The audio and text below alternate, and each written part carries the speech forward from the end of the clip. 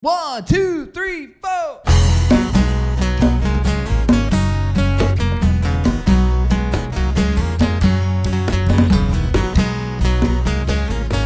Hello, and welcome to another edition of Lay It on the Table, the Southern board game podcast with the accent on Southern.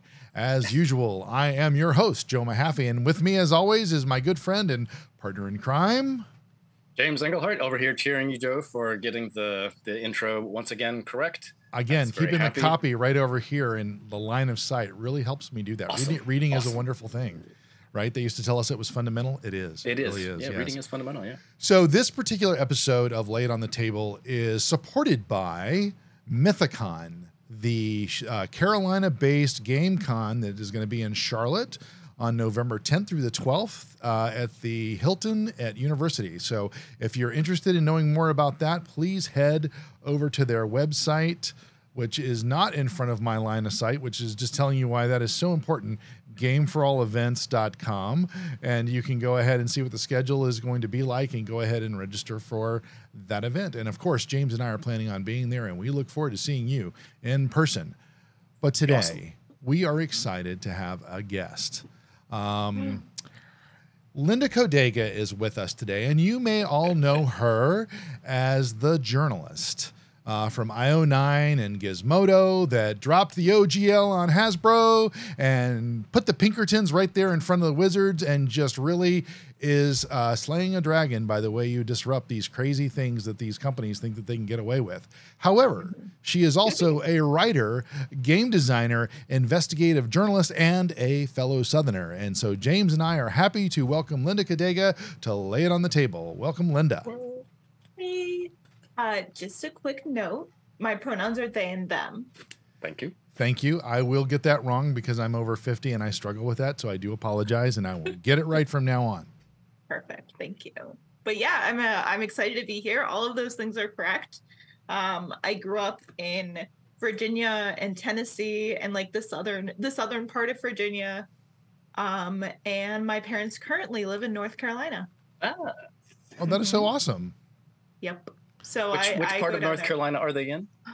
Where you expect old white middle class people to be? They're in the Outer Banks. Oh, Oh. okay. Because it's either there or in the mountains. See, I was, Yeah. I was going to say Wilmington when you said that. So, you know, it just close, kinda close, close. be- Yeah, they actually uh they live on Roanoke. Okay. Yeah. Ah. Awesome. Yeah, they love it. Um, they've been there a while, and they're just they're definitely like island, like that sort of like small island people. So, so I live in Nice. Charlotte. I live in Charlotte, and anytime I try to go to the Outer Banks, I feel like that's the longest drive I've ever made in my life, and Oh, never Lord, left yeah. the state of North Carolina. It is, Yeah. it is horrendous from Charlotte to get there. I'm not Anyway. surprised. Well, there's no straight shot to there. No.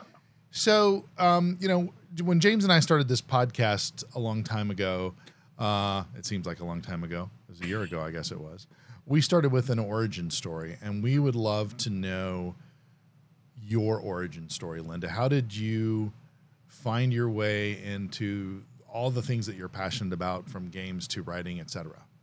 Yeah, so I've always been obsessed with books and stories. My father uh read to me as a kid, which is sort of like everyone's got that story. Uh however, my father was like Edgar Allan Poe is appropriate for a 3-year-old. and so, you know, by the time that I was 4, I could like recite The Raven from memory at like family dinners, uh which was totally normal and not morbid at all. Um, Little Annabel Lee to get your kick your knife, night off right. Yeah. I don't know what to tell you. My dad was just like, "Yeah, you really like caught on to poetry really fast," and I'm just like, "Dad." um, he Love that. Also, he's also like a huge nerd. Um, so is my mother. My mother's like less of a nerd. She like supports. She's like a nerd support system. You know, Nice. she's like, she's like. Sounds cool, guys. Like whatever. But she also like loves Star Wars. My dad loves Star Wars. My dad also loves Lord of the Rings.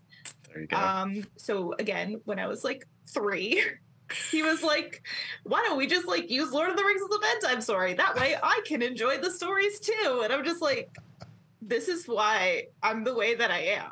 You know that, right? Like you did this to me." That's awesome. And he's just like, "Oops." um, but yeah, so that's sort of uh, the basis of a lot of it. And I think that like the point where I knew that I was going to be like a nerd for the rest of my life was when I was nine or 10. It was 2000. And Crouching Tiger, Hidden Dragon came out. Oh yeah. Yep. And my dad, again, was just like, this seems like an appropriate movie to take a nine year old to. Read fast, kiddo. Yeah. Read fast. That's- so that's we went to go see it. And I loved it. And so Oh, we get yeah. to go see it a second time. And my dad is my dad's just like, you turned out okay. I'm just like, you're right, but like, come on, dad. Um, and then you know, within like six months after Crouching Tiger, Hidden Dragon came out, The Fellowship of the Ring came out, Oh yeah. uh, and that was just like, ooh, fantasy, sci-fi, nerd shit. I love it. Oh yeah. Yeah yeah. so that was sort of like the the one-two punch for me when I was like ten, where I was just like, oh, this is it. Um, and I sort of I got started in gaming with role-playing forums online. Mhm. So sort of that like text-based kind of lawless interactions with people. Well, I mean, because there's like not really a lot of rules. There's sort Right. of like there's some like guidelines for conduct, but there's not really like hard and fast rules, and you can sort of do whatever you want. Really, uh, you just sort of have to ask permission in like interesting ways. So it's like there were built-in safety tools like before that was like a thing Right. in role playing games, um, like uh, more traditional like dice, pen, paper role playing games. So that's really where I got started with like role playing games and gaming, um, and yeah, just just went from there really. And with regards to like writing and being a journalist, kind of just fell into it. I sort of always knew that I wanted to be a writer when I grew up, and I wanted to write for my career because I'm like, this is my skill set. I'm real good at it. So I just sort of like circled around journalism for a long time. I was like at a local magazine. I was at like a small publishing press. Um, I went into marketing to pay the bills for a couple of years, you Mhm. know. hmm Um, yeah, and you know, what got back into digital journalism, and now I'm here. You know, All and- right. and it's interesting too because you know you, you talked about at the beginning that you you had both Virginia and Tennessee in your background. Mhm. Uh, in that story, where did you start? Which state did you start in, and where did you go to? I promise this is not all going to be about Southern geography. No worries. Yeah. So my mother was in the military for a very long time. Got so it. we were in Northern Virginia. We were in DC for a while because she uh, worked in the Pentagon, Okay, which Cool. is always like very like, oh no. I've I've had I have friends who work who work or have worked in the Pentagon. It's an interesting interesting Yes. place. yeah, weird. Uh, Yes. Can have to contend with that a lot. Um, and so then we went to Norfolk, and we were sort of like in the Tidewater area for a very very long time. I told I Um, told James before you joined that the that Norfolk was the uh, regional headquarters for the United States military. Yes, it basically is. So yeah, we were in Norfolk. not wrong. Uh, yeah, we were there for a, a long time. We went to Memphis for a while. Um, went back to Virginia. Like not, we were never in the city. We were always sort of in kind of like the smaller towns outside of it. Um, and then my folks moved to North Carolina. So But so I would, oh, go ahead.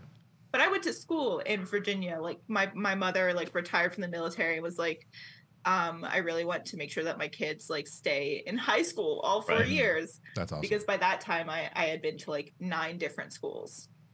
Ninth grade, nine different schools. And my mom was like, I gift you four years with the same people. And I'm just like, what? no. I like having enemies. I don't know how to deal with this. Yeah. Why yeah. would you do this to me? Um, so, I, but it worked out really well. Uh, and I went to college in Virginia. I went to UVA. okay, Um, so I spent a lot of time in like the mountains. yeah, Charlottesville's great. Oh, yeah. Charlottesville was really cool. It's one of those things where I didn't really like school that much, and I don't have a lot of like great things to say about UVA. That's fair. Uh, but I really loved running away into the mountains. And I'm just like, Well. I'm just gonna be, I'm just gonna be in nature the whole time. Like nobody talk to me.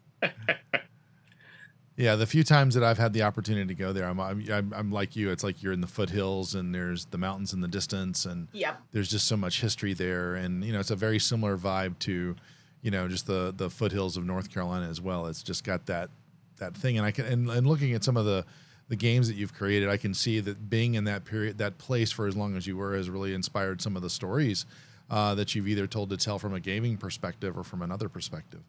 Um, Yeah, absolutely. Um, I feel like a really strong kinship with just like mountains in general and the Appalachian sort of vibe and the Appalachian like culture and history holds like a really I have a really special place in my heart for it. Mhm. Um, you can't see it, but I have a poster up here uh, from the Yellowfinch tree sits Oh yeah. Oh. Yep. um, that I got for like supporting them. Nice. Uh, and I have like other other posters on my wall art like that's southern. And but yeah the Appalachians like that area of the world uh, is very very special to me. Well, it's it's funny because James and I um, play a game of Dungeons and Dragons with some friends that are is also on our YouTube channel, Geek and Southern, and it's that we're doing the Curse of Strahd as if it were set in Appalachia, and um, I- I mean it's not as it's not as uh, honorable as you might hope, but I can say I can say that I you know did a lot of uh, research and still do in things Appalachian uh, because it's such a an amalgamism of cultures that have come together and have created this wonderful gumbo of people and things that uh, and, and it's still kind of preserved because even today there's still that level of isolation and Mhm. so um, we we do try to play that into it obviously once you kind of get into the whole Strahd story it's kind of hard to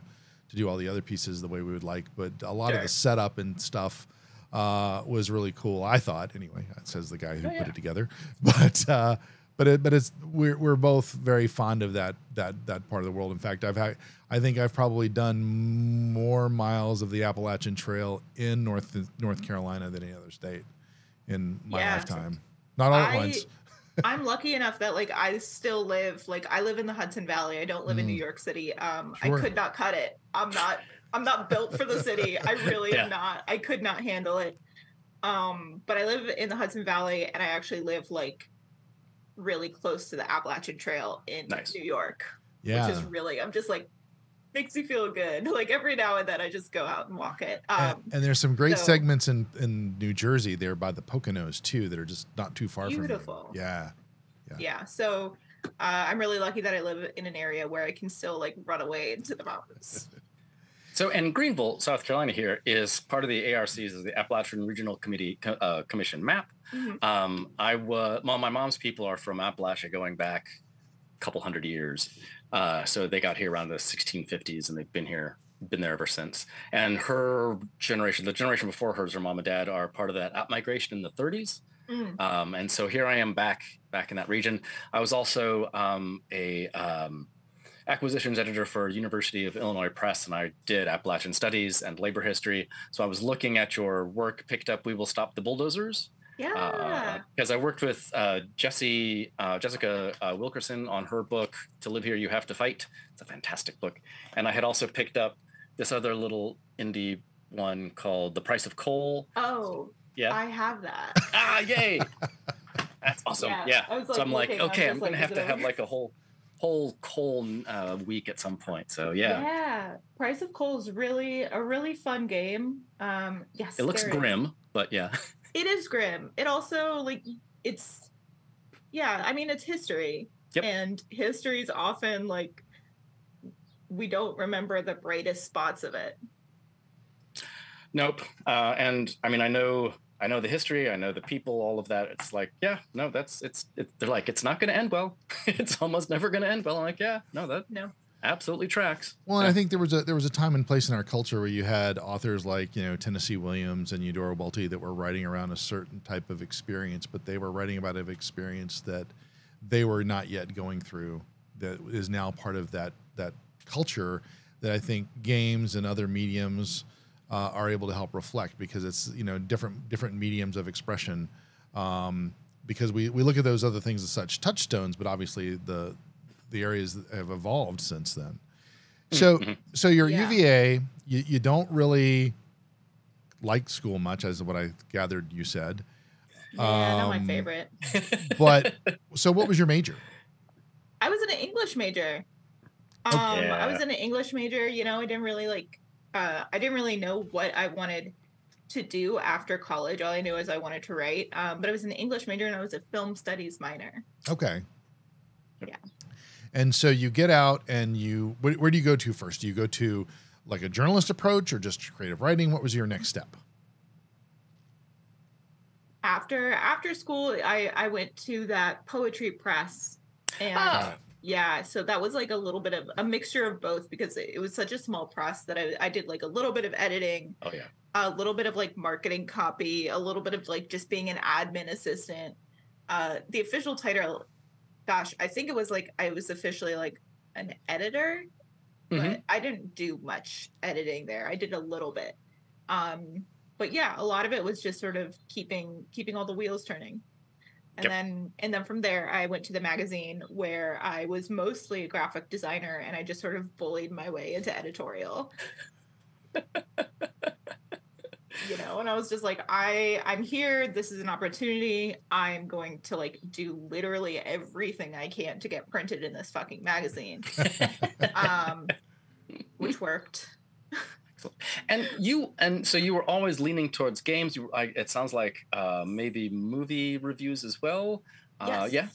Yeah, yeah, totally. Uh, movie reviews, uh, book reviews. Um, Books are sort of my first, my first love in a lot of ways. Um, I've written a couple books. Uh, I have, you know, stacks of them. I do book reviews. I wish I could do more book reviews. The the the, the downside of working at IO9 is that we focus a lot on visual media. So like Mhm. a lot of like anime, films, television sort of thing. So it's harder to fi- with with so much of that expected for us to like be available and be like knowledgeable about. There's just not a lot of other time to to do fiction, which is Mhm. something that I'm like trying to change.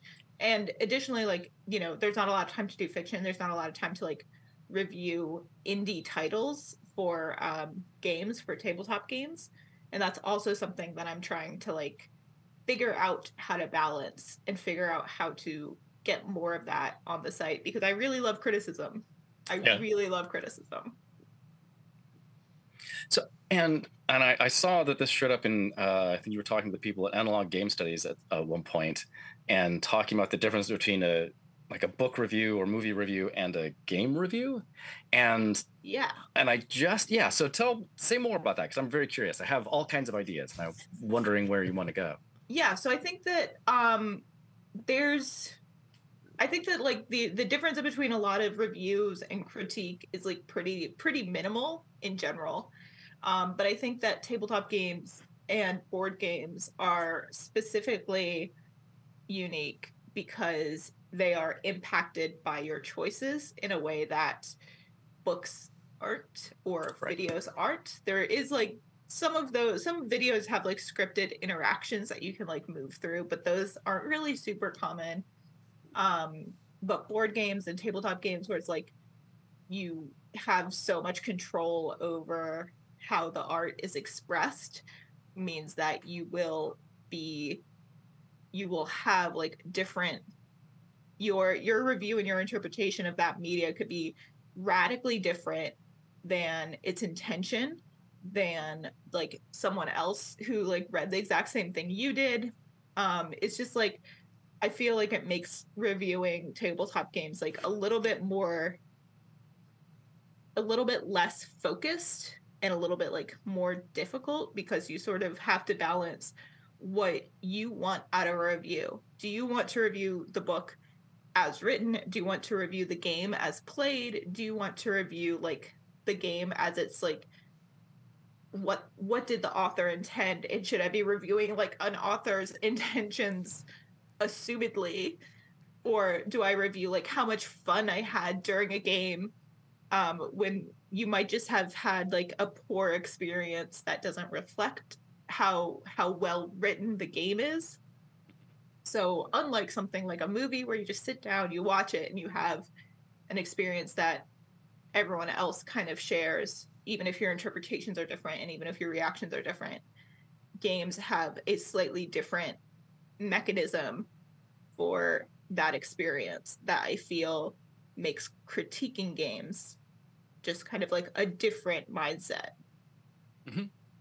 Yeah, well, and so I've been thinking there was a one of the things that can happen with game groups, right, where they'll get into like groupthink. Everybody knows you play mm-hmm. Wingspan, since Joe's wearing the Wingspan shirt. Uh, everybody knows you play Wingspan this way, and then you go to somebody else's group and they do they have an entirely different set of criteria and, and they're still winning the game and they're beating you and you're like how did we so yeah i i can imagine that it's a it is a box full of possibilities or a book full of possibilities or a deck of possibilities and and so much depends on the rest of the people who are around you as well um, and the way that that sort of intersects with all of it well, and it's interesting yeah. too because with Elizabeth Hargraves in particular, when she put that game together, she was passionate. According to her, she was passionate about two things: spreadsheets and birds.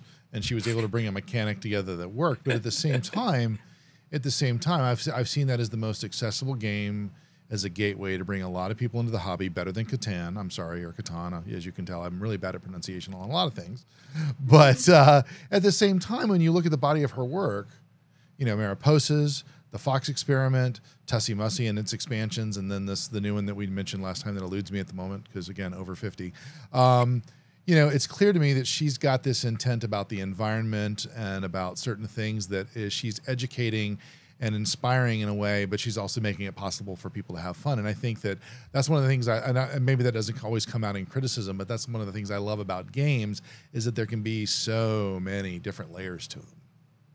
Yeah, and i think that like a good a good critic will find those patterns and connections and make yeah and like be able to think about what the author intends not just with one game but with like all of their games. You know like uh, you mentioned earlier uh, james that like you looked through the games that i've written and i'm like i'm pretty sure that there's like you can pick out like two or three and like group them and like have and see kind of like the the themes of ideas that I that I work through in my games. And I, I think that for most artists, you can do that. And I think a good critic will often tie a single work into a larger body of production of, of like right. art. And I think that that's really important when critiquing art in general. Um, I think that there's there's like one exception but even then it's like kind of like an exception but like not really is like when you are writing for like a really big ip then i'm just like i can still look at your body of work and understand what where you're coming from but like sam raimi like he couldn't save doctor strange and the multiverse of madness. Um I liked that film because I liked Sam Raimi, and I'm just like, ah, yes, zombies, but like eyeballs popping out. Like I got it. Like I I could catch catch the mm-hmm. Sam Raimi isms of that film, but it's still like a Marvel film, and it's still like not very good. So so there's oftentimes when people are working with big IPs where I'm just like, I think that you're probably going to do your best, but but you've got a whole bunch of people with a whole lot of money wanting you to do very specific things. Yeah, yeah, yeah. Like, I mean, I think about that's how I sort of think about D and D. That's how I sort of think about a lot of the stuff that Free League puts out. Like, I really admire Free League. I think they do a lot of really cool original stuff. Um, I think Vaesen is good. I think Coriolis is good. Um, and honestly, like their IP games are also generally pretty good. Alien's good. The One Ring, not the 5e version, but like the One Ring mm-hmm. Lord of the Rings game, also pretty good. Like sets the vibe, like knows what it wants to do. But I think in general, uh, it's really hard to ignore the presence of the company. Mm-hmm. So, do you think that? Um, how do I even say this? Sort of chokes off or down throttles down the creativity of the the designer, the artist? Um, does it I mean, does it push you towards a different kind of art because you're under these different constraints, or are you more interested in the kind of stuff that's coming out of uh, sort of more indie RPG movements Ah, I saw your eyes lit up. Okay, so go. so run with that. yeah, I mean, I I always like individual artists over artists that are working for corporations. Um, I don't That's think fair. that artists working for corporations are bad or are like selling out. Like I don't. That's not my mindset. It's just that like when you are free from constraints of like what a company wants you to do, Mhm. I feel like your work will be better and more expansive and like more daring and bold. Um, to uh, not to like pick on Free League, but their their Blade Runner game, right? Um, so they they have this game that's based on uh, the Blade Runner franchise, and in it you can only play cops. Hmm. And I'm like, an interesting way to talk about cyberpunk. Yeah, yeah. interesting. So yeah, so like in that game, you can only play the police force, and I'm just like, guys, Oh. like who made this decision? like, was it you guys? Um, so it's just like weird. Huh. And then like someone like Magpie Games when they did like the Avatar game, Mhm. which I think is like. I think it has some issues with its combat, and I don't know if that was because of what like Nickelodeon wanted with like more crunchier rules to like have that kind of moves like in in avatar the last airbender you know and like legend of korra all of the fights have like these really cool moves and like this kung fu acrobatics and wing chun and like all these different styles. And i don't know if they they tried to develop combat mechanics to reflect that but it turns out like clunky and it works against the game which is a powered by the apocalypse game and they like really crunchified the combat rules in a way that I did not personally like. And I'm just like, who made you do this? Who? Well, it's interesting because you know uh, Knight Models, which is a game designer out of Spain, they um, do a lot of the Warner Brother properties. They've got some Harry Potter IP, they've got some uh, DC IP, and they've they, they did recently on GameFound uh, Escape from Arkham Asylum, where you're paying, playing nothing but the villains, and Batman in this one is the big boss that they have to deal with. Uh, if Yeah. they're if to succeed the game and it's a and it's a cooperative so you you and your friends are all playing the villains and and they have everybody and if you you know backed all the way up on the game found you even got some really deep Batman cuts uh, for this thing but it but it's it's interesting that you say that because I, f- I think that you're, you're to your point the the ability to express yourself how you want to express yourself within the medium uh, or the story or the IP is something that I think we bring from tabletop games because we, you know, we do have the ability to play so many different characters and personas. Um, but I'm curious though, do you because you were talking a little bit about the the independent and the the the artist, do you feel like that these these game founds and and Kickstarters are as accessible to them as they were in the beginning, or do you feel like they're getting closed off for that particular vehicle? Uh, if that makes any sense. I think that creators have learned to adapt to the crowdfunding m- model. Um, and I think that tabletop creators in particular have adapted to the crowdfunding model very quickly because there aren't really traditional publishers for tabletop games. And it's really hard to, unlike something like, you know, a novel, right? You write a novel and you're like, I want to get traditionally published. And I'm like, okay, you get like, you write a query letter or you get an agent, your agent, like, you revise your novel, your agent sends it out to editors. So there's a path, right? And there's not necessarily a path for tabletop role playing games. So there's a huge like DIY aspect to tabletop role playing games, primarily because there is not really a traditional method of publishing that would like be a part of that ecosystem um except for d&d except for d&d uh, and then we have like some some smaller publishers paizo monty cook games uh, etc but again it's very they're very focused on their own systems and are not really like you can't really like submit like you can't like say hey i've written a tabletop game. Do you want to publish it. But you can't email paizo and like say that. So there's not really like a um you know a path forward so i think that the the cycle of crowdfunding um while not necessarily ideal and probably doesn't work for a lot of games has been made to work within the indie sphere because it is one of the few ways that publishing a game can be made accessible to literally just like anyone, you know? If you have the time, um, if you live in the right location, because unfortunately, like Kickstarter limits where they allow creators to be based out of. Right. Um, so yeah, I think it's one of those things where if you can use Kickstarter or crowdfunder or like any sort of crowdfunding platform, Mm-hmm. it provides a, a, a path that is not necessarily anywhere else. Well, Ja- James and I are friends with Christina Stiles of Christina Stiles Presents, and she publishes most of her stuff on RPG Drive Through. Yeah. Um, and she you, you can find her on a few compendiums, and you can find her on Amazon. But for the most part, that's where um, her work is is located. Yeah. Um, and then I noticed uh, Dave Hamrick of DM Dave. Um, he's basically still using Patreon as his main vehicle. He's got his own front page now, and with all the kerfuffle with the OGL, because that's what I officially called it, the kerfuffle. Um, he's The he's really yeah The incident, yes. incident. Yes. Capital T, capital yes, I, the, the yeah. history repeating itself, as we like to call it. Um, you know, but watching the way he's modified his business model, we were doing a, a micro Mythicon last night at the friendly local game store in Pineville, Carolina Tabletop Games. Not a sponsor, but we talk about them all the time.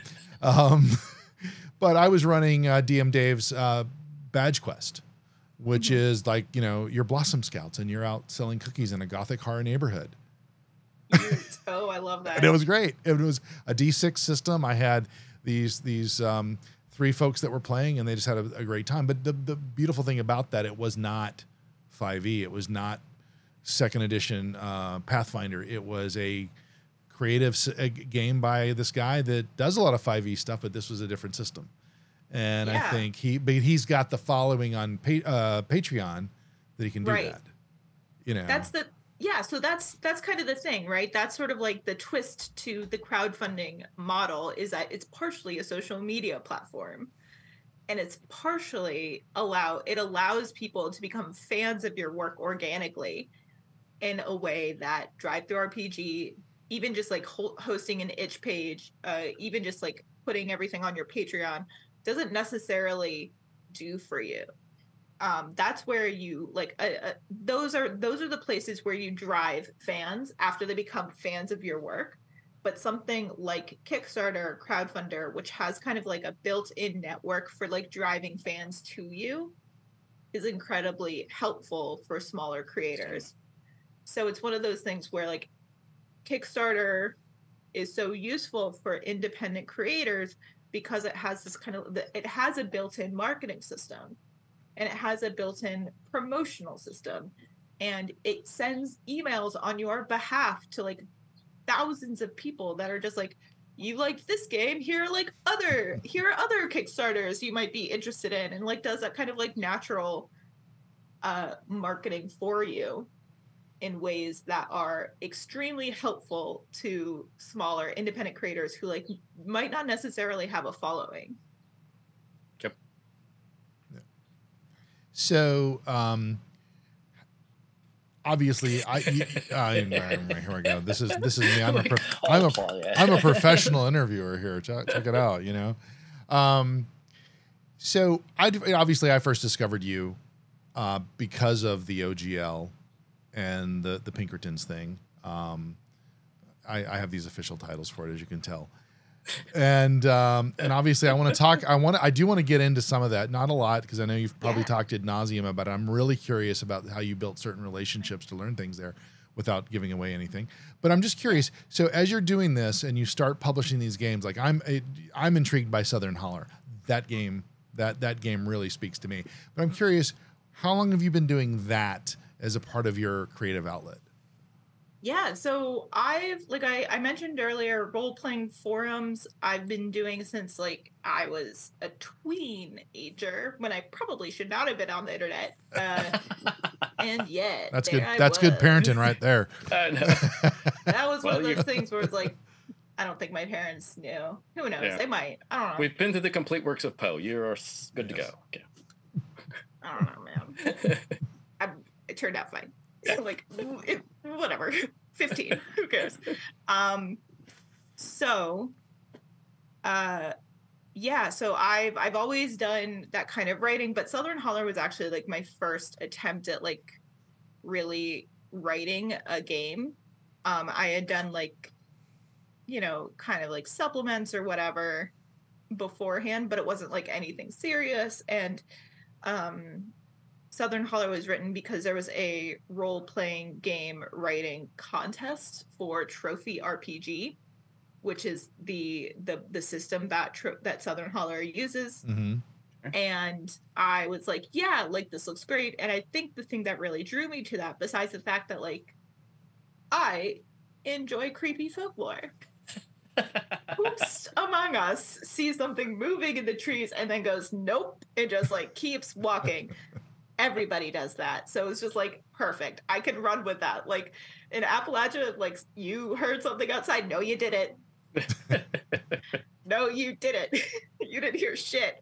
Um, so it was like perfect. Absolutely can run with this. And the reason that I really like Trophy is because it was when it was published first published, it was published in the serialized magazine called uh, Codex, which was run by the Gauntlet and Jason Cordova.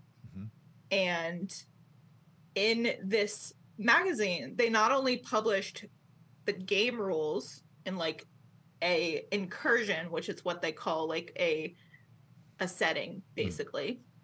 Um, but they also published a guide for how to write your own incursions.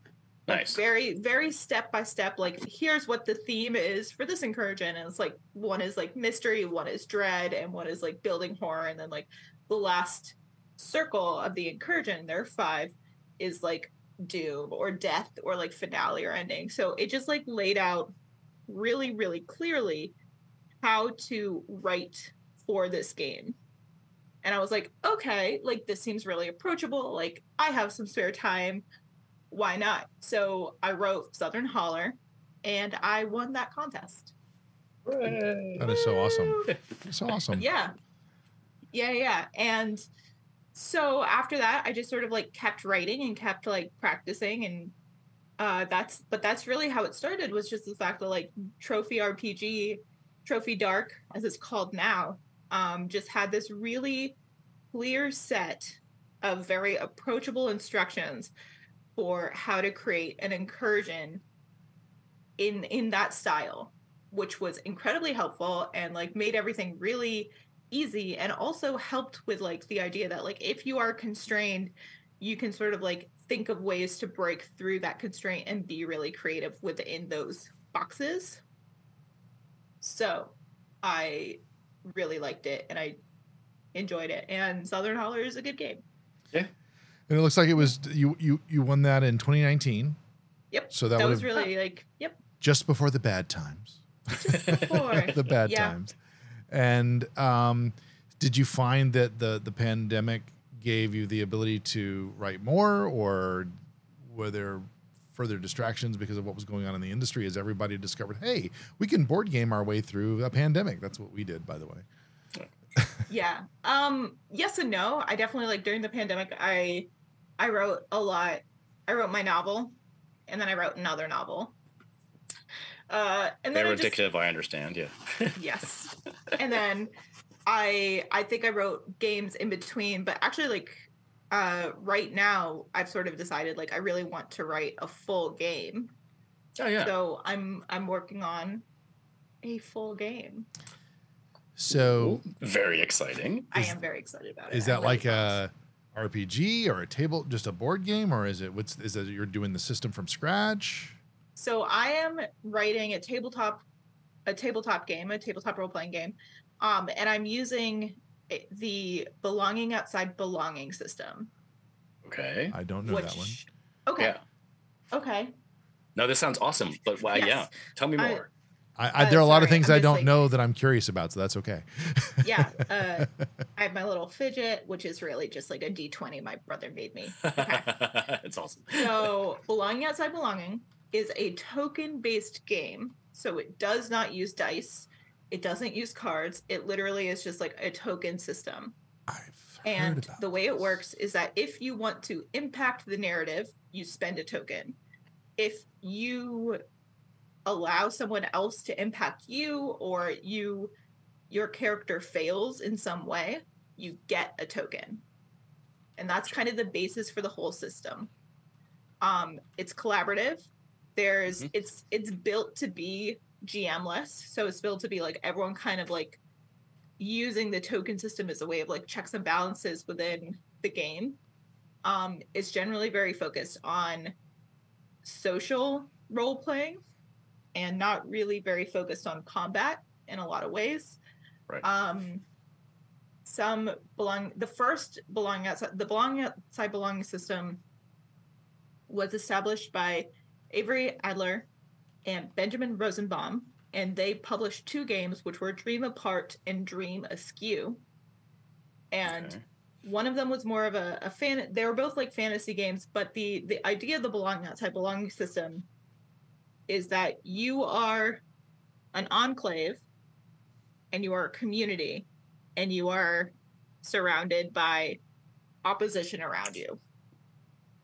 But Mhm. within your community like you are you have to work together and you have to like establish yourself.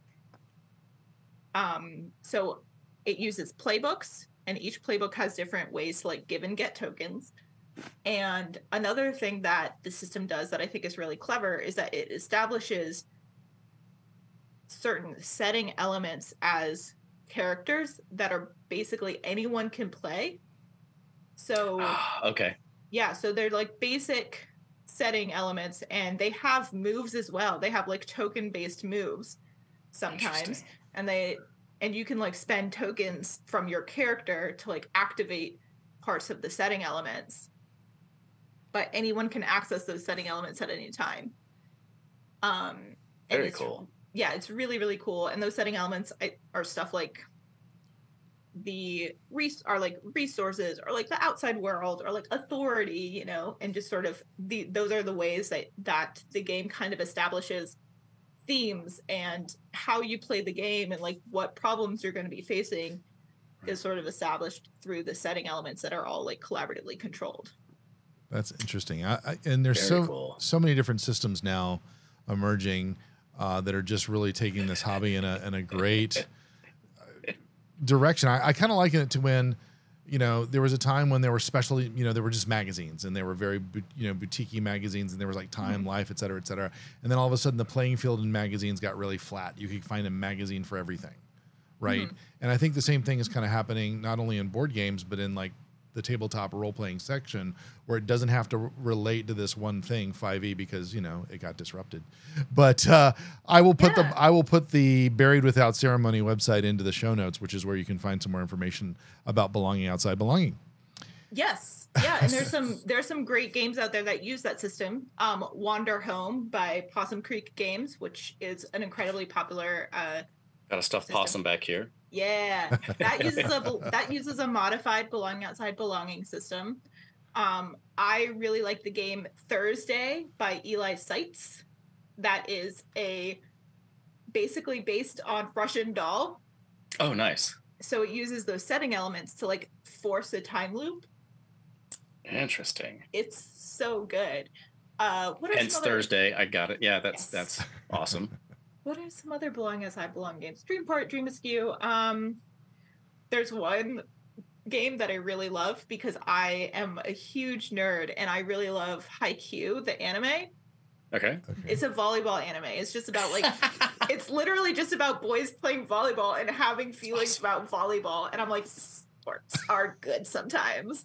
Um, but there was this really fun belong outside belonging game about everyone like on the sports team, and it's called Volley Boys. It's perfect. It Okay. is a perfect game. Um, but yeah, I really like belonging outside belonging. I think it's it's very it encourages the kind of role playing that I really enjoy. Um, and it allows like me to explore specific design questions. Um, Mhm. I can keep talking. So, and, well, and, and I have a question that kind of pushes on this a little bit that I'm interested in.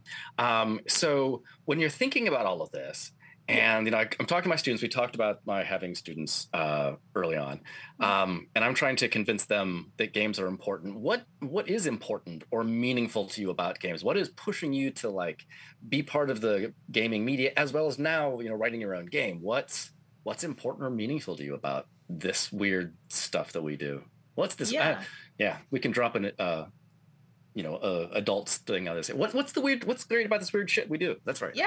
What's what's the special sauce? Like what are the ingredients? What's Um, important? What's meaningful here? Yeah, well, I think that games are a really incredible medium for besides just the fact that they're fun and it encourages you to like talk to your friends, which I'm just like sometimes you can definitely you can like if you go to watch a movie together or if you go to like um a a bar, like sometimes there there are things where it's just like there's not a lot of conversation. Um, and I like that games encourage conversation and encourage like thinking about the things that you're doing together um, in a way that's like very tangible and like obvious that like this is you're doing something together and you can like see the material change on the board game or like in or you can like see the narrative change in the game that you're playing together. And i think that that kind of connection is really special and really good. I think it's good. Yeah. um, so i think that there's like you can sort of be like you can you can take that in a direction where it's like it it gives you empathy it gives you it allows you to like think critically about your actions it allows you to think critically about actions that other people are taking um and with regards to like role playing games in particular i think that it allows you to sort of play and have fun and be creative and imaginative and i think that there are less and less fewer there are fewer and fewer outlets for that as you grow older. Um i think that's one of the reasons why like adult coloring books like became such a craze like a couple of years ago because everyone was like i can be creative as an adult like i can do fun rc cool things as an adult and a lot of people um box themselves in and like don't have those outlets or like They don't give themselves permission to do it. Right. And that's kind of what I love about like tabletop role playing games is not only do you have permission, but you're encouraged to like be creative and be inventive and like there are no wrong answers, et cetera, et cetera. And it's like it's really very good for like I think just being a human is to like be artsy and be creative and be imaginative and like remember that like you are here because like you feel things and like you should find ways to feel different things and new things and experience life in different ways and then um, from like a personal perspective uh, i'm queer i'm trans i'm uh yeah so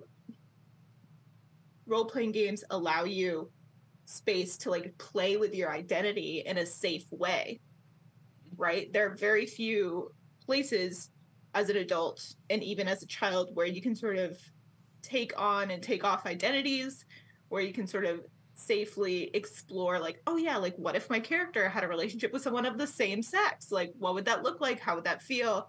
Um is that reflective of how i feel about myself in the real world or is this like just something that i want to try on in fiction and figure out empathetically um, or vicariously how i feel about this personally? And i think that that's incredibly good to have these sorts of containers where you are encouraged to play with your identity. And you're encouraged to explore different parts of yourself through the characters that you mm-hmm. make because i think it's really great that you can sort of take bits of characters that you really like and you're just like this is my personality now. And you can sort of figure out like the kind of person that you want to be or don't want to be mm-hmm. based on like how you play characters and how you present these characters and how your characters interact with other characters. And i think it's just like a great part of like a great like unintentional side effect of role-playing games that it has like this like safe safe little container where people can do that exploration Well, it's funny. You, it's funny you mentioned that because a few weeks ago we interviewed uh, Megan Connell. I was hoping who- you were going to talk about Megan. Yeah, Excellent. she just published a book called Tabletop Role Playing Therapy, and on our Mm. episode Geek Therapy, uh, she talks about that journey, and she was saying some of the very similar things about she discovered about herself Yeah. playing role playing games and how she began to do things with her characters that she would not necessarily do with in her her, her own persona in terms of taking risks, and then began to realize, hmm, there's more under the hood here. And so she uses it in her her practice. She's part of the group Geeks Like Us, and she has a Twitch channel uh, called Clinical Role, which is a bunch of clinical psychologists playing Dungeons and Dragons, which is amazing. Um, but it's also interesting because I was telling James that when we were doing this, when I was doing the the badge quest last night, one of the part of the the system is you roll for your personality, and so here I had um, th- three people, uh, um, a mother and a daughter, and another person who had come in, and the daughter rolled and got and became the leader, and it was because of the the, the luck of the dice, but her flaw was she was a bully. And it was really interesting watching her, you know, here's she's like nine or so. She begins to lean into this. hmm And that's what I, and one of my favorite things about role playing uh, games is I was thinking about that episode from The Big Bang Theory when Penny's trying to teach Sheldon about improv.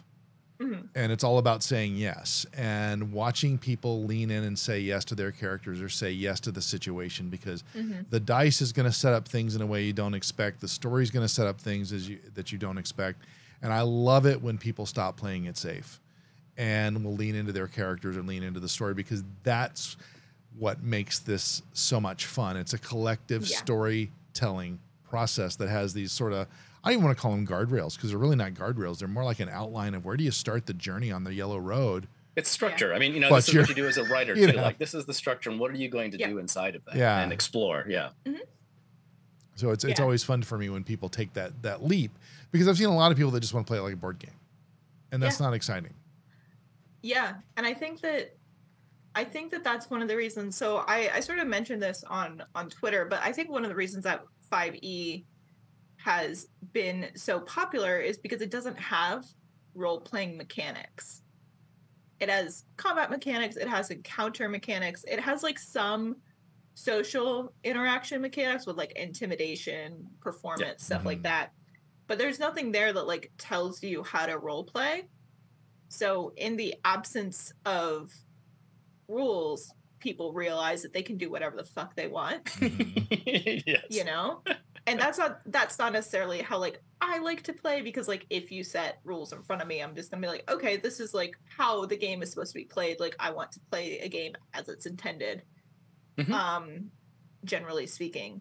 So but but it makes sense to me. I'm like, that's like it makes sense that like 5e has gotten like such a a, a chokehold on the industry because the things that people really love about D D and role playing games and even like APs like Critical Role are because of like the role playing and like the stories and like combat's like The cool voices, and the dice. Yeah, voices voices are very important voices are important. um but yeah like what people remember are like the stories and the connections and Mhm. the the emotions that these characters are feeling and there's like no mechanics for that so it Right. makes sense that like oh yeah you can literally do whatever you want and then like d&d also like it and d&d is not special in this way but like d&d teaches you how to role play right like it's like okay here's like a big bad thing what do you want to do and you have an option in between like bow and arrow and daggers and you sort of like even choosing which one to pick is a role playing choice Mhm. so even though it's like really small and it's not necessarily like how people consider role playing as you like move forward in the hobby it still teaches you like okay you chose daggers. Why did you choose daggers over a bow and arrow? And if they're like oh like mechanically it makes sense and I'm, you're just like great that's like a choice that your character has made like think about that. And then you can like move on. So it teaches you how to engage in role playing games simply because it does not have rules for role playing Well, and, and I, I, there's not pressure and I see the lay of the land where D and D has just sort of become the the Kleenex FedEx of the hobby, and there's so much more under that hood for people. And I look at what's happening, like the the Shadowdark uh, Kickstarter that is kind of bringing back some old school mechanics, and and kind of embracing that simplicity, if you will. And then, of course, you know uh, Mercer and those guys over at Critical Role just announced Daggerheart a couple of weeks ago, and there's deeply suspicious uh, well, I just saw that was yeah. deeply suspicious. I'm just Linda, they wear their heart on their sleeve. you know what can i tell you but it's but it's just going to be really interesting to see because i mean you, you know obviously you've done a fantastic job building relationships within the industry getting to know people to learn the things at the right time in the right place and i think that you know the service that you have done for this hobby just by exposing the truth at the right time um, has been really interesting to to observe from a couple of points of view number one as a player Mhm. um, you know, we had to we had to have the conversation like, okay, look, we're we're in the middle of this campaign. Are we just going to throw it all away and stop what we're doing? No, of course not. We're going to keep going. But at the same time, just saying what else are we open to as part of it. But then also watching, you know, this this. I was at James is an English guy. I was a history guy. Watching the history of of Dungeons and Dragons from the days of Gary Gygax through the the whole acquisition piece and where we are today, and watching how history doesn't necessarily repeat itself, but there's so much rhyming But it rhymes, of yeah. the arrogance of that group in terms of how they look at this intellectual property and squander it at moments when they could be really making it this huge thing. And I just I, I'm dumbfounded by that. But uh, I mean, it's you know, it's business as usual. It's like corporations. I don't think they really care about the IP. They care about making money. Yes. Um, there's definitely like people who work for Wizards of the Coast and people who work for Dungeons and Dragons who like really deeply care about the product and really deeply care about the game. Um, and of course, like I find that admirable in its own way. But ultimately, D and D is controlled by Hasbro. mhm. it's a Hasbro product and like the more that like the minute that we like can sort of as a culture accept D&D in the same breath as like Barbie is like that's that's when we'll like finally be able to like fully move on but it's it's just like we're not there yet Well, and it's a, it's an another interesting thing too because of the so we talked about the pandemic for a minute. So here you have Magic the Gathering. It's a billion dollar IP for Hasbro. Mhm. And because they can print cards is like printing money, they can keep that that cycle going in a certain way, or even though they get some flack here and there.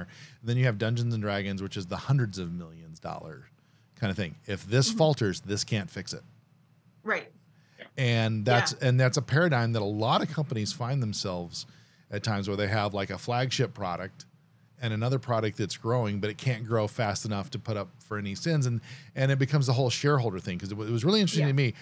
I, I want to say it was about three weeks from the time that your article dropped on i think it was gizmodo is where i first saw it. That doesn't mean that's where it was. Things get replicated as you know. And right. i was watching um because we had bought some hasbro stock around christmas time just not a lot, just enough to kind of track. And I didn't think much about it. And then all of a sudden, I was watching how long did it take CNBC to pick up on what you had picked up on? And I want to say it was like three weeks. And Yeah. when that happened, that was around the time, oh, well, we're going to do this now. And because the shareholders all of a sudden realized, what are you guys doing? I think, I hope. I'm, I'm, you know, and, and shareholders can include organizations like BlackRock and Fidelity, these institutional investors that look at certain properties. And, you know, BlackRock is one that actually looks out there and says, okay, let's not just invest in companies, let's invest in companies that, that are doing good in a, in a certain paradigm, if you will. Mhm. And I think that, that those kinds of influences, it's unusual and because it only affects Hasbro because everybody else has got a very different way of working and they don't have that. I, I can't think of any other public companies that are doing board games uh, at that level. Uh, there might be one. I just don't there- know it. There isn't any Yeah. there aren't any. Um, that's kind of like the great, the great irony of all of this is like D and D, like D and D alone, not not Wizards of the Coast, just D and D made 150 million dollars in 2022. Mm-hmm. nice. Yeah.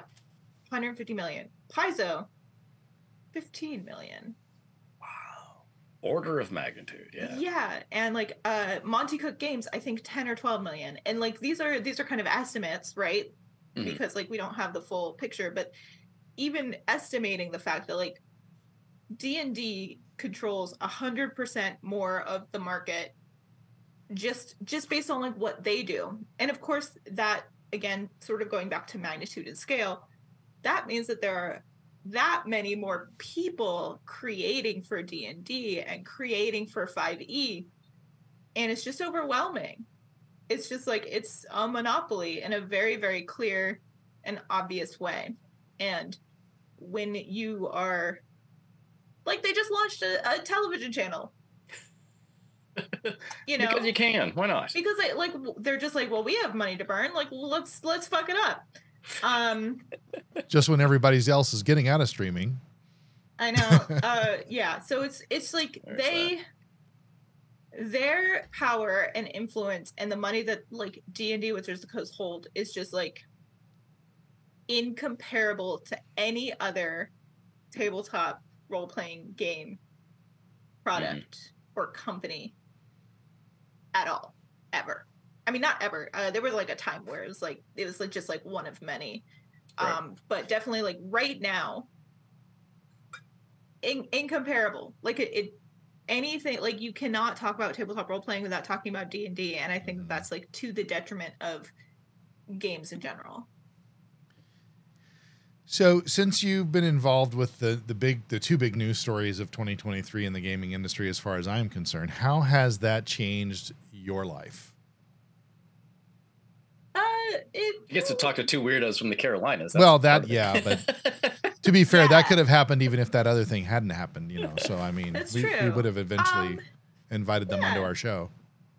yeah i mean like day to day hasn't not much has really changed i'm definitely like a little bit busier and um a little bit more aware of what d and of what like wizards of the coast is doing because until the ogl like i reported on it and i like did a little bit with it but it's like i don't care about d&d I don't care Fair. about Wizards of the Coast. I like small indie games. I like Mhm. small indie outfits. Um, I have like so many games just like within arm's reach, and it's just like D and D is just like not something I'm interested in. I simply do not care. Fair. Uh, so unfortunately, now I have to care a little bit more about D and D, um, which is Well, like the, the it's all biggest change. in your in your Wikipedia bio. It's always going to be associated with you. yeah, you know? yeah, yeah, and that's that's really cool. Like I'm really grateful that This I is your was- Woodward and Bernstein moment. It was. um, yeah, I mean, and I'm totally fine with that. Uh, I'm happy that I was able to do it. I'm happy that like I that my editor saw it happening and when I got like the first leak and I told them like I'm going to have to like follow this story for the next month my editor at the time my editor in chief had like knew about D&D like was a D&D person is a nerd and he understood the implications of like what I had gotten oh, that's cool. yeah, because so my editor is James Whitbrook, and he's just a big nerd. He's a 40k player. That's like his whole vibe. Oh yeah. Yep. Uh, and then my editor in chief at the time was David Ewalt, who actually has like written a book on D and D called of of dice and Of Men. Dyson Men. Yeah, Yeah, I've got I've it. read it's that on the shelf in the other room. Yep. Yeah. yeah so he was my editor in chief and so so when i told him i'm just like i have something really big and i explained it to him he's like yes chase it do whatever you need like uh, i'll take you off like other things like go for it um so i was really lucky that uh, i had both david and james kind of like solidly in my corner being like do it. Do it now. That's awesome. Yeah. yeah. So that was really incredibly helpful. But uh yeah uh at work i think is it's the biggest change because now i have a lot of trust within not only like the the role-playing game community um with my reporting on d&d but also like my reporting on wormwood. And i have other stories kind of in the works mm-hmm. because of how i've handled those stories Right. Oh, very cool. yeah. And that's really cool and exciting. And that's like the probably the biggest change is just like I I have I've like always have at least one or two investigations going at any given time, Awesome. Which is great because that's what I really love. Um, and you're suddenly on what we used to call a Rolodex of other people. They're like, yeah, you know who we should talk to? We should talk to Linda. Yeah. That's true, and that's really cool. yeah. That's awesome. Yeah. Well, and I think Um, the fact that you've got the the persistence, you've built the relationship, you've got the passion for it, and now you've got the street cred. You know that that that puts you at a level of no, I'm serious. I mean, it puts you at a Yeah, level no, of right. being able to to drive that and be that voice for the you know for everybody. I mean, it's not just the the indie gamers; it's for everybody because these these things impact the, the player. You know, we have mm-hmm. we have wallets too, you know, and and if the if the foundation changes, I mean, the, the thing I love about some of these games is that as the DM, I incur most of the costs. Mm-hmm. or they the the DM would incur most of the cost, and everybody else can just show up with a piece of paper and a pencil Yep. or an iPad, guess that's costly. But, Whatever works. you know, but the, Yeah. but the idea is, and that's that's the thing is, is keeping it open in that way was just was just huge from my perspective, and, and uh, making making informed decisions and your work allows us to do that Thank you. I really appreciate that. Um, I'm glad that it found the audience it did, and I'm grateful I was able to pursue these stories with single-mindedness and kind of like a really bullheaded level of determination.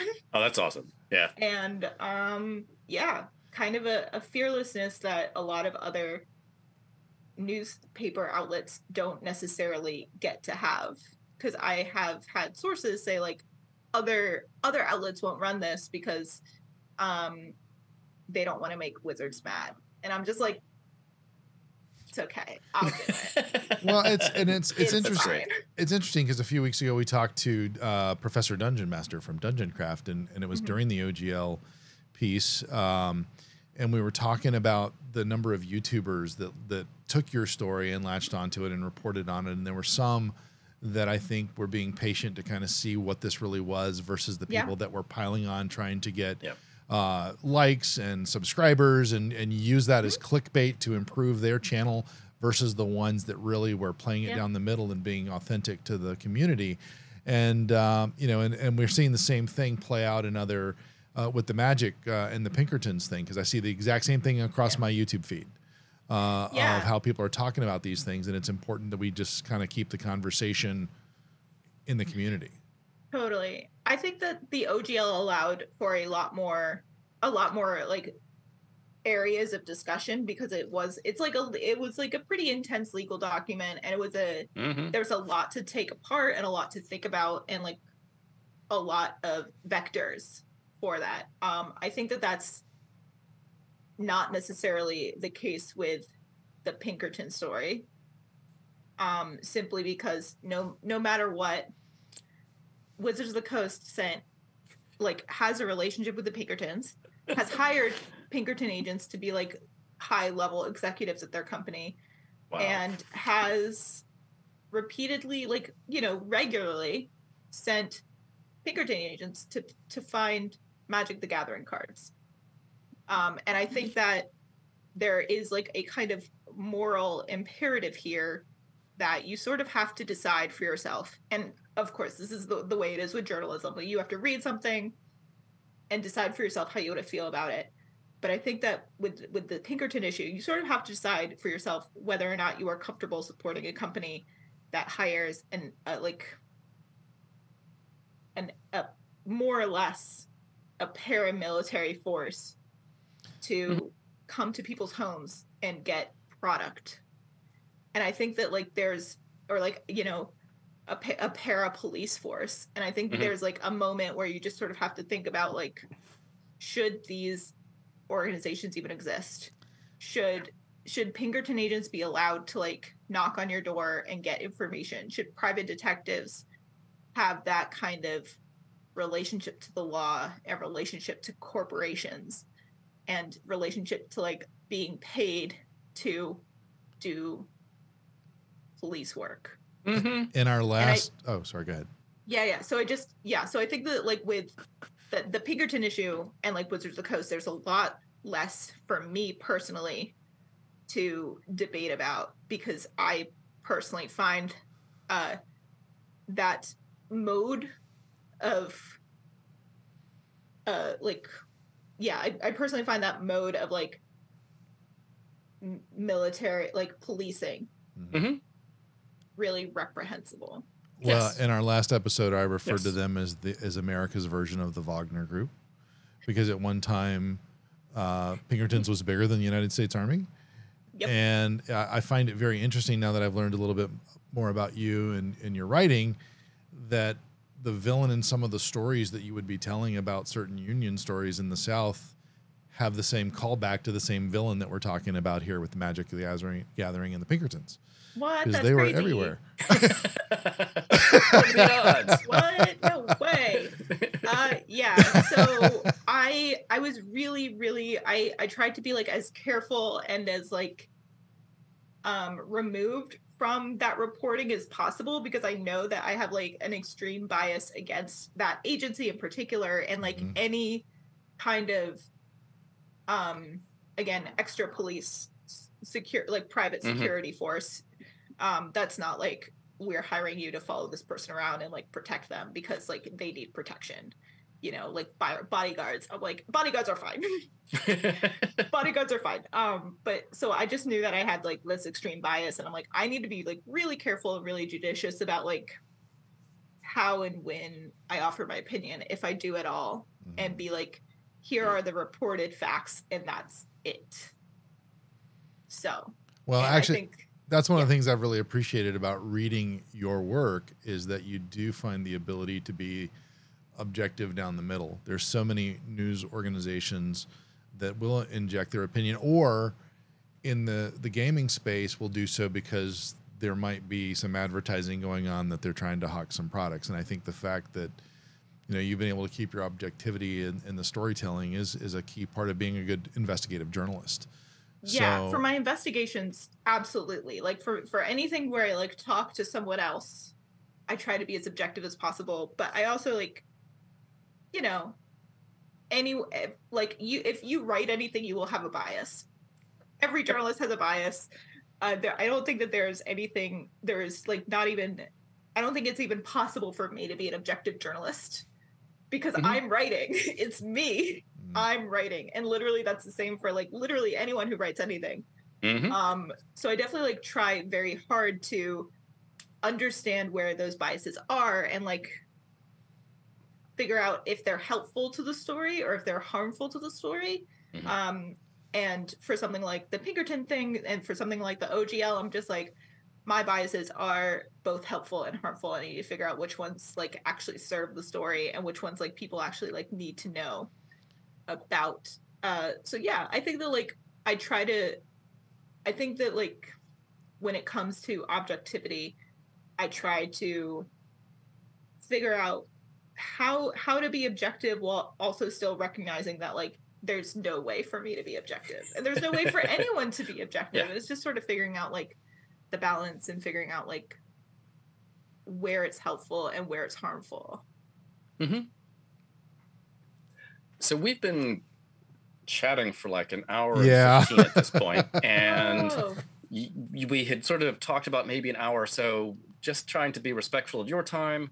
Um, this is a fantastic conversation, uh, but I was just thinking we should probably. It's I have you know uh, Mother's Day events to Yes. take care of too, so um, yeah, I know.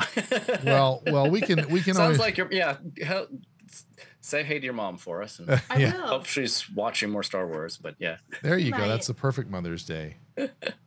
She here it's a lightsaber. she loves Yoda. Ah, lot. okay. Yoda's Yeah. her favorite. Um, and then Princess Leia is also like second favorite. But it's Yeah. a toss up between Yoda and Princess Leia. She also really liked Baby Yoda. I got her Oh, yeah. like a I got her like a little Grogu pendant Nice. for for Christmas a couple years ago. Um, yeah, but it's not until I had like an hour and a half left before the family Zoom. So yeah, Ah. uh, I'm happy happy to go into the next segment. Ja- Of- well, we can we can certainly well the- first do uh, absolutely thank you for the opportunity to get to know you better and, and learn more about you and and what you're doing. I think that's fantastic. At at some point, I'm going to ask you offline about what you think about Firefly by Adobe, since you're involved in the visual arts. That's the new AI thing, but we won't get into that because we don't talk Sure. AI here. We are a board gaming podcast. Yeah, yeah. I mean, Um, I can I can sort of tell you really quickly. I hate it. Um, but we can, but we can talk about that more later. Yeah, sure. yeah, okay. I work with a lot of graphic designers, so I can I understand. Um, so I hate it. so I think what uh, I did have a news story in here, James. I'm going to go ahead and just go past that one because I don't think is as interesting as what is on our table. Um, I I'm going to I have two things on my table and I can just jump right into it because it's really it, simple. Uh, Darwin's Journey is on our table.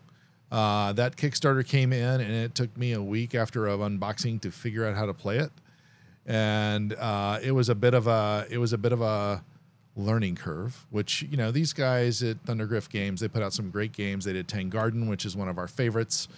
Um, and now that we've kind of cracked the code on Darwin's Journey, it is one that I think we're going to be playing a lot of. Big shout out to the YouTube channel Game Court. They have uh, maybe 260 followers. Hopefully, they'll get a lot more because they're doing a really nice job. They were the only video I could find that was the post Kickstarter delivery of how to play this game. And it really helped shorten the learning curve. So I was really grateful to those guys. And um, of course, I already talked about Badge Quest, did that last night at the game store uh, with some folks. And so it was fun to get out and play those games and uh, just kind of teach some people the love of the hobby. And that was great.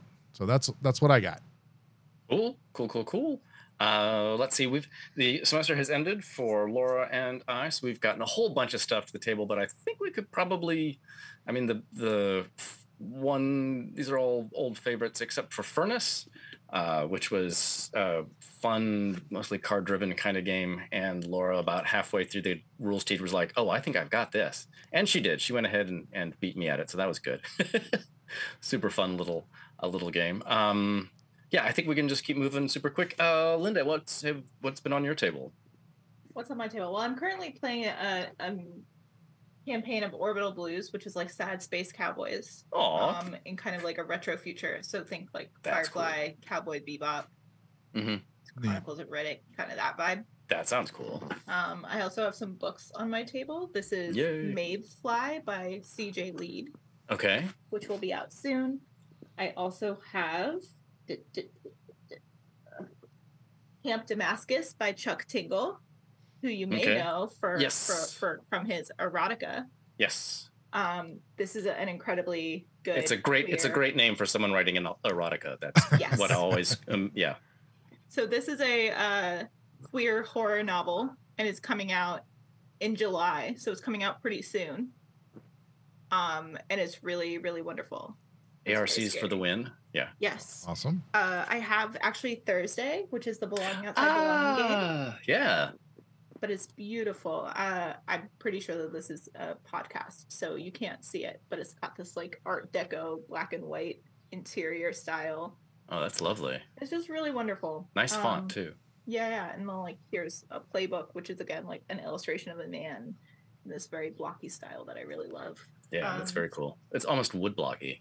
Yeah, I also have Crescendo of Violence, which is a cyber neon noir role playing in That looks really future New. York. I really love this. It's got like a D10 system, um, and it ha- it, it's very focused on its themes of corruption and city life and classism, and the, like a future future nostalgia vibe, Mm-hmm. Where it's like I'm, sen- cor- I'm sensing themes throughout your interests. Yeah. Yeah. so not really corporations in charge anymore, but like mob bosses and families are in charge. ah, okay. Just like the old Um, days. Just like the Yeah. yes, again like a Just future like nostalgia. Yeah, yeah. I also have Women Are Werewolves, which is a card-based role-playing game by Ninth Ah. Level Games. And in this game, all women turn into werewolves, but you're non-binary. Ah, So it's really it's really an incredible game about like where do you fit in with your community? How do you Mhm. reject norms? How do you embrace norms? Like if you were like assigned male at birth, like would you want to become a werewolf to sort of show that you're in between? Um, if you were assigned a female at birth, like would you want to deny that part of yourself or would you want to like embrace it regardless? So it's this really interesting exploration of identity. It's really good. Great questions. Yeah. Wow. That's Yeah. fantastic. Um, and I also have the ultimate RPG tarot deck. Ah, nice. That's hilarious. love that. Yeah, they they just sent it to me. it's, it's a very rider waite look to the box. Yes, and it's definitely like a Rider Waite inspired. Um, I like it, but it's very D and D focused. It, okay. I thought I saw a Just- D20 on the on the box there. So Yeah. You did, and I have a bunch. I have like literally three other tarot decks here because I was playing a tarot based game. oh, cool. Um, I'll show you two more things, then I'll let you let us move on. First is my dumpster fire, my I love vinyl that. dumpster fire. That's fantastic. which I really love. Um, and then lastly, I'll show you this D20 that my brother made for me. Ooh, Oh, that's very cool. Yeah, and you can sort of see that there's like a little uh paper boat in there, a Yeah. folded paper boat. That's Yeah, amazing. That is neat. So he he made this for me. Move it a little bit to of- your right. Oh. There we go. Up, up there, right there. Stop, stop, stop. Yeah. Because we do, we do actually put the video on uh, YouTube, so that people will see that. So I want to make sure that they saw that. Yeah. That's very That's, cool. very cool. So yeah, I have that on my desk. Oh, The other thing on my have- desk is this cat. Hello, cat. Kitty. yeah. yeah. I also have a little plague doctor. Awesome. Oh, that's super adorable. Oh, that's Yeah. great. I, You know, uh, you're living in a particular part of the of your life when you're like, oh yeah, plague doctor. That's super cute. Yeah, I mean, I have, I have like a do- uh, I have like a plague doctor like tattooed on my on my thigh. Like Cool. I love them. Um. Anyway, so that's the stuff on my desk. awesome. Uh, a, a selection. That's awesome. I actually I actually backed the game Pest, where that, that has a plague doctor in it. It's it's a Kickstarter. It'll be out hopefully soon. Hopefully, I've I've learned to be patient with Kickstarter oh yeah. and Yes. It's- deliveries. You just gotta buy it and forget about it, and then when it comes to you, it's like a cute little gift. Yeah, I'm like- but uh, I, I finally I finally just had to tell my wife that uh, there were going to be a series of delivery deliveries, and I really didn't know what they were. Yeah. So we just box them up and wait till a, a necessary holiday like Mother's Day. Um, there you hey, go. there you go. Um, so we move on to speaking of Kickstarter. What have we what have we backed or what are we intrigued by, James? Because of the last conversation we had, I did back the paperback typewriter um, reprint, uh, 10th anniversary edition, I guess it is. Yep. Yep. the Tim Um, Fowers. Yep. Uh, this is my, my wife is somebody she's in she's got her master's in English, uh, loves these kinds of word games, and so this was right in her aesthetic. So I was like, "Yep, this is perfect. Got to get that." Uh, and then I also backed uh, Botany, the adventure, uh, a game full of adventure, intrigue, and flowers. So, um, awesome. but it was enough to say, okay, that's uh, that's backable from my standpoint. So Very cool. Kind of light for me on the Kickstarter side, which is probably healthy. but I did see what you were intrigued by, and I was intrigued by that too. So I'll let you you uh, talk yeah, about it. well, we're gonna you know go back to D and D for a little bit. So, Nations and Cannons, the American Civil or sorry Revolutionary War, and I'm just sort of astonished by the work that these people must have done, and they have names.